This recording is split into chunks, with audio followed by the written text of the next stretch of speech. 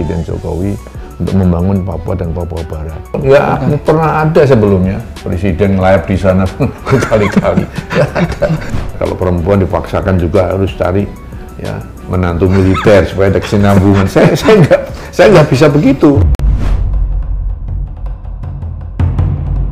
Karena keislamanmu itu bukan dari pakaianmu, tapi dari perilakumu.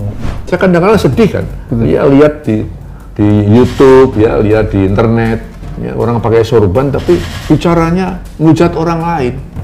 Banyak tokoh politik yang kemudian mem- memanfaatkan ulama-ulama ini untuk kepentingan politik mereka. Blanko tercecer ini akan bahaya nih.